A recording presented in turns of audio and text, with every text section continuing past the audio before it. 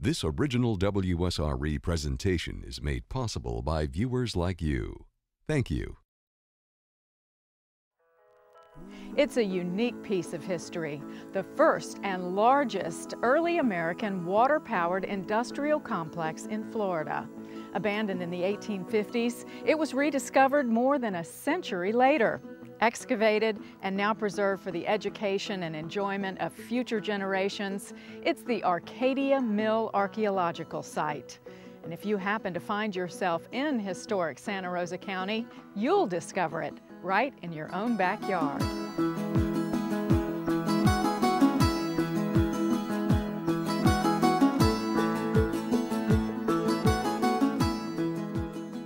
There were a number of progressive uh, owners who were trying to industrialize the South to realize that the writing was on the wall. It was a water-powered industrial site. It was the first industrial site in Florida. People don't realize that. It wasn't really until 1964 when a local historian named Warren Weeks uh, was just floating down Pond Creek and saw the dam and realized that it was some sort of historical uh, site. So he did a little research and was able to identify it as Arcadia Mill. So we said there needs to be a place where we tell the story of Arcadia Mill. But there was so much to the story, still so much to the story that's not known that we need to find out. You guys know what an archaeologist is? What do we do? What do we look for? You dig for things. What kind of things? Like, like artifacts. Like, like artifacts? We only deal with people. Arcadia Mill is a historic and archaeological site that is owned by the University of West Florida and managed by West Florida Historic Preservation, Inc.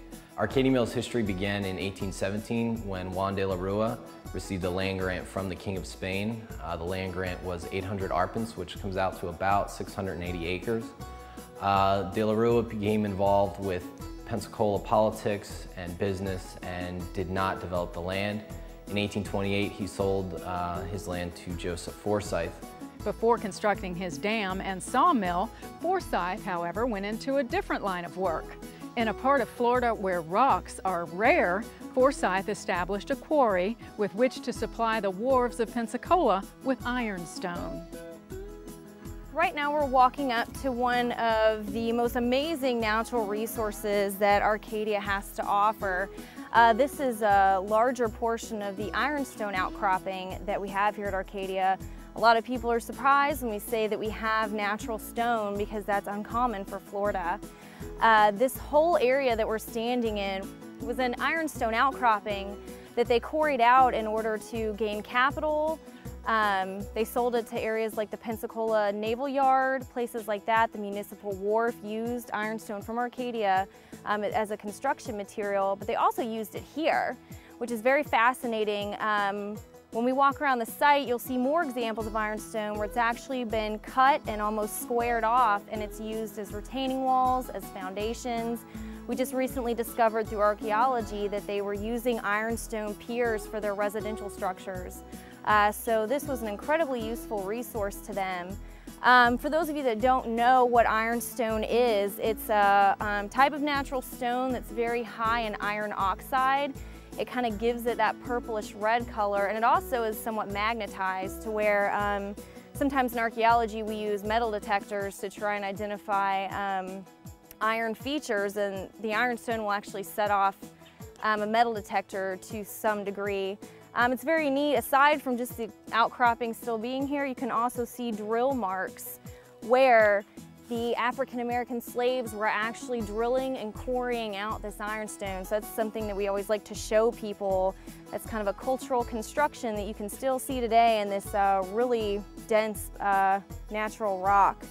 Um, also, it's all over the site, even aside from this quarried area. As you can see, there's a piece right here on the ground um, I would pick it up, but that is a practice that we uh, try to deter people from is picking up anything that you find on an archaeological or historical site. Uh, if you see things like this, even though it's fascinating, you always want to leave it where it is and let an archaeologist or a professional uh, handle it. In 1830, Joseph Forsyth partnered with uh, Andrew and Ezekiel Simpson, whose father owned Woodbine Sawmill uh, the Simpson brothers brought in the needed capital and industrial know-how to build the sawmill here at Arcadia. The first sawmill was built on the banks of Pond Creek Uh, they built a 15-foot dam that stretched about a half mile long. The surrounding forest provided a more than ample supply of lumber for Arcadia's mill. Back then, trees reached 70 feet high to the first limb. Now, in the heyday of the Florida Panhandle's timber boom, giant trees were commonplace. Those were what we call virgin timber. That means that nobody had ever come and cut anything down in the forest. Um, it was always natural. If there was a fire, it was started by lightning or something else that was natural, not humans, not from humans. And if there was a tree that died, it was because it, it grew so much that it died of old age. You know how big the trees were when we were cutting them down? 120 feet. You see how you see how big the how around that tree is? Do you guys think you could put your arms around it and hug it and connect? Do you think you could touch your fingers? It was a forerunner of what became Baghdad, the uh, timber era of the late 19th century. And uh, so the, the Forsyth Simpson Mill here really is a very key landmark to understanding Florida history. In uh, 1840, uh, Arcadia was a fantastically successful industrial uh, enterprise, turning out uh, hundreds of thousands of board feet per year, but they had a problem getting their product to market because we're three miles from the Blackwater River. The shipping lanes are the interstates of their day which eventually caused transportation issues. Um, that three miles doesn't seem like much, but it was actually a long way to go while they were transporting products. Um, they used a lot of flat bottom boats, um, but Pond Creek is a pretty narrow channel, which made it very difficult to use water to transport these products. So in 1838, uh, the firm of Forsyth and Simpson, along with Timothy Twitchell, decided to charter the Arcadia and Blackwater Railway. The Arcadia Railroad was a three mile long mule drawn railway. It had wooden rails um, with iron ties. Uh, unfortunately, it wasn't that successful and it didn't really turn out to be as efficient as they had hoped. Uh, the mule labor wasn't very efficient and the railroad itself wasn't exactly stable like they thought it would be. So the railroad didn't run very long, though they were successful and they got it to operate. This is an example of a historic railroad cart like the one that we would have had at Arcadia that was drawn with mule labor. We actually have it placed here by our Discovery Pavilion uh, because the area of the railroad bed is actually somewhat hard to see. Uh, we can identify it, but it's actually starting to erode. So in order to protect it, we decided to interpret part of the railroad here by our Discovery Pavilion where it fits in with the other uh, replicas. Arcadia's tour guides are adept at tailoring their tours to the ages and interests of their visitors, such as these from the Pensacola Learning Cooperative. Younger students might learn about flora and fauna, while the older ones are told how people in the 19th century put water to work. Can you hold them at the sign and let Mike go by? Just have them group onto, the, onto your left side, my right. What was following us all the way here? Water. So what do you guys think we were powered off of? Water. Water. How in the world can we be powered off water? Well, we had something special. You see this right here? That is our water wheel. We're gonna see that. We're gonna see a smaller version of that. And if you've seen one, you, you understand that it goes around and around and around and around, right? Because the water keeps on hitting it. Well, we would take that and then we would connect it to other things. Right here, you see this? Why do you think we have walls built right here? What's coming off that water wheel? So the water won't come out. Because what would happen if the water came out? It would be flooded. It would flood. It would go everywhere. And what's water doing? We need water, why, right? Why? It had a wheel. Energy. Energy, very nice. That was a nice term. All right, we use it for energy. Do you guys know where this went? Has anybody been canoeing or down to Blackwater? Well, Blackwater is that it's really, really dark, but it's also really, really big and it connects to the ocean. So this went all the way down to Blackwater so that we could take our stuff and we could ship it to China, we could ship it to England and Europe. This is the Discovery Pavilion here at Arcadia Mill. In this area, we have some working replicas of some of the technology they used in the sawmills. So we're gonna come over here and take a look at some of the working replicas that we have here on the site. Our first piece is our dipping kettle. Uh, workers and employees would have built a fire underneath the kettle, and you can see the chimney in the back. They would have used this large bowl to heat and boil pig fat. They would have then used that pig fat on the machine parts to lubricate the parts and keep everything operating smoothly. This is our dead header, and this was used to go out into the water to pull up logs that had actually sunk. Men would be in both sides of the dead header, and one lucky guy would have been assigned to swim down to the bottom of the mill pond, wrap this chain around a piece of wood that had sunk, and then the men on the top would turn until the chain pulled the piece of log up above the water. They would then take the piece of wood to the edge of the water where it would then be transported to the mill. Here at Arcadia Mill, we utilized water power. This is, a, is an, this is an example of a water wheel. This is an overshot water wheel. As you can see, the water is coming over the top of the wheel, falling down and causing the wheel to turn. The power from the water wheel is then being transferred to the saw. Here at Arcadia Mill, we had what's called a vertical sash saw, and this is an example of one here. As you can see, the, the wood is coming through. It's being cut on two sides. Uh, after the wood would be processed, the men would take the piece of wood that had been cut, they would put it back onto the other side of the blades, turn it, and bring it through a second time. And they would create quartered wood. As you can see, all four sides of this piece of wood have been cut off. Uh, our mill produced quartered wood that would be used for posts, much like this one that we see right here. Here at Arcadia, we are lucky enough to have a replica log cart uh, this cart is a representative of what they would have used while the mills were in operation. As you can see, uh, we have some large wheels on this log cart, and we actually have iron wheel rings. And the reason they put these wheel rings on is the terrain is actually very rough, and these wooden wheels would have broken uh, quite often. And as you can see, these wooden wheels are, are in segments, so that if a segment of the wheel were to break, they could easily replace it. This ox cart is set up for two oxen, which is actually a small team of oxen. Out here we had oxen, we had teams of up to 12 oxen, which would stretch about 15 to 20 feet in that direction.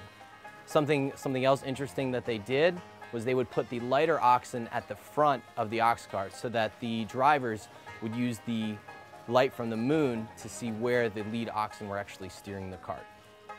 Visiting the Arcadia Mill site really engages the imagination. You can't help but think about the incredible effort of manual labor that it took to construct a 15-foot tall dam or to dig the flumes and watercourses that transported timber and powered the mill's machinery. Archaeologists and historians help you to see all this in your mind's eye with strategically placed signs and excavations. We have an elevated boardwalk as well as hiking trails to the north and we have uh, various interpretive panels throughout the site that tell the story of Arcadia Mill. All right, what we've been walking on is actually a dam, and it was in its prime 15 feet tall and about 8 feet wide. And you can see how tall it was if you just look behind you. This whole pit, that was Mill Pond. This whole thing was Mill Pond right there. Right now we're standing next to the mill race, which is one of the very interesting uh, man-made features that we have here at Arcadia. This would have been board lined and it was um, hand dug in order to divert water from Pond Creek, the main source of water, down to a secondary milling operation. Uh, mill races were also used in some circumstances to divert water away from certain locations as well. Hey, do you guys remember that rock I told you about? Yeah. Do you remember what it's called? It's kind of a weird name. It's iron stone, like what castles are made out of, stone, right? So iron stone, and that's what this is made out of. We cut some out just for ourselves and we built our wall out of it. You never know what kind of critters you might encounter along Arcadia's boardwalk and nature trails. We ran into reptiles. One was a little on the slow side, but apparently was very determined to make its way across the remains of the mill race.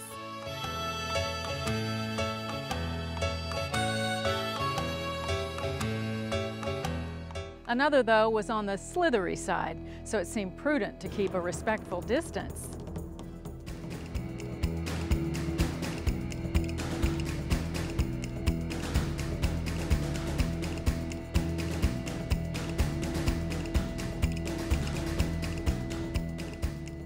See, this is what the sawmill actually looked like. Um, you see how it's open? Anybody have any guesses as to why that might be? Yes, the wind could carry out all the sawdust. And also there was no air conditioning in the 1830s, so uh, it would get kind of hot if they were in a stuffy building like that. This was kind of a, a gnarly kind of business. The people who got their limbs chopped off by working up, up at the top level would actually be able to work down at the bottom level by greasing all the gears. All right, we're gonna stop up here and we call this our future telling tree. It tells us one thing about the future. This tree right here, it tells us when it's gonna rain. You know how it does that? Well, first off, it's a silver bay magnolia. I told you this one can tell us when it's gonna rain. That's because it doesn't get enough water through its roots. So what it does is it tries to get a little, the tiniest bit of water in its leaves.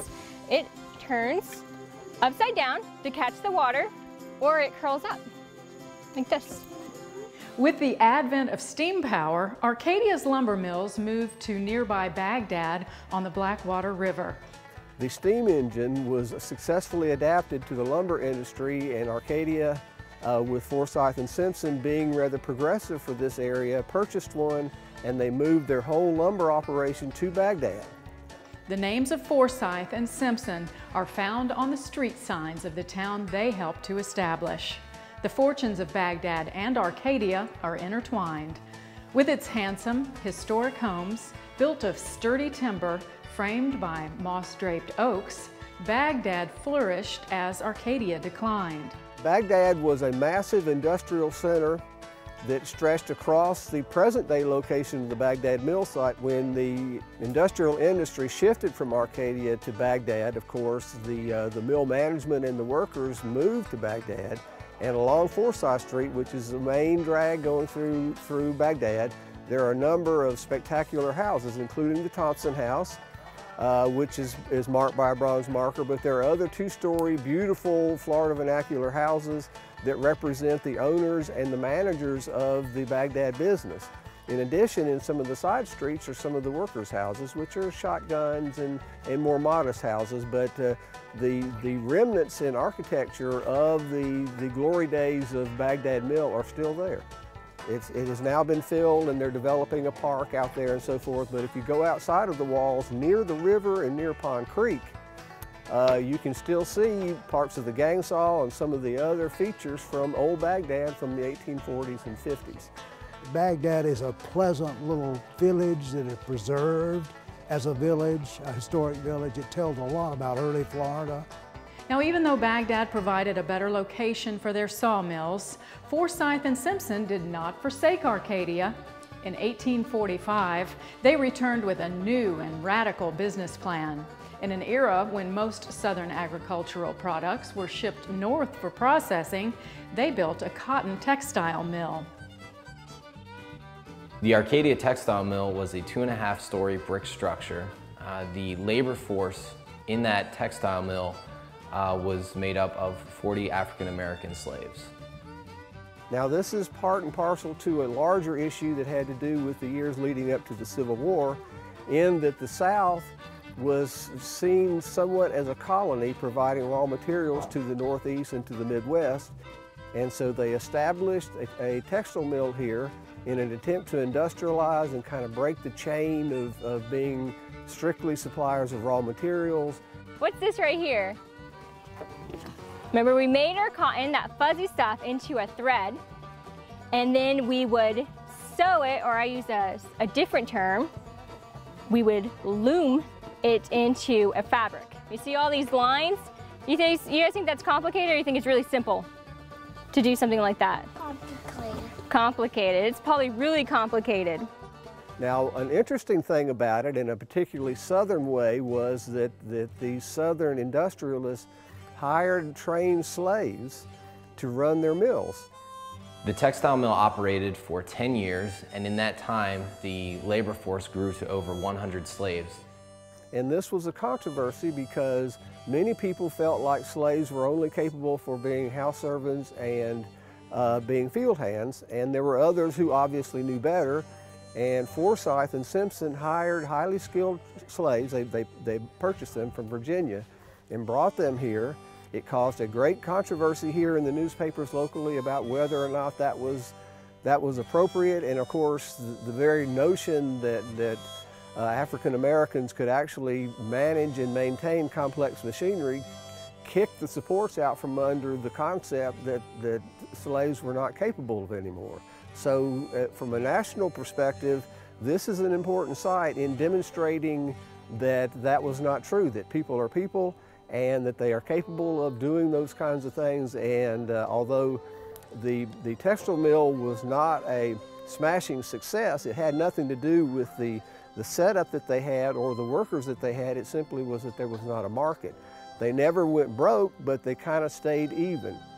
Now in 1855, Forsyth, who was the guiding light behind this, passed away. And within three months, the other members of his board shut Arcadia down. And so that's the end of the story here for Arcadia. And the, the, um, the industrial center completely shifted to Baghdad where the Baghdad mill industries continued into the 20th century when the Great Depression uh, killed it off. And they were tremendously successful there, but there's a direct um, connection between Arcadia as the precursor to, to Baghdad. The same owners, the same equipment was taken there, and the same in, in results and, and fantastic profits that they were, they were starting to realize here continued at Baghdad. Uh, during the 1860s, there were multiple troop uh, movements through the property, both Union and Confederate. Uh, during the Civil War, the Arcadia Mill dam wall was blown up. Uh, we do not have any evidence as to which side was responsible for the explosion, though uh, in 1863, as the Confederates were retreating this area, they did destroy and pillage most of Milton and Baghdad. In 1964, local historian Warren Weeks rediscovered the Arcadia Mill site.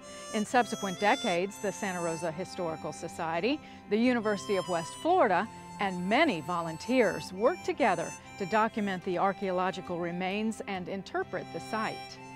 It was actually being threatened by development. As you see, we have a modern uh, neighborhood that's kind of encroached around us. Uh, so it was very important to try and save the property.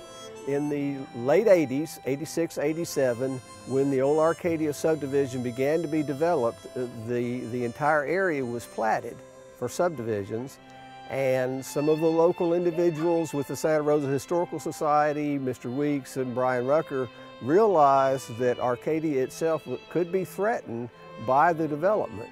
And a, and a, series of grants were provided to purchase those lots and those areas so that Arcadia would be preserved.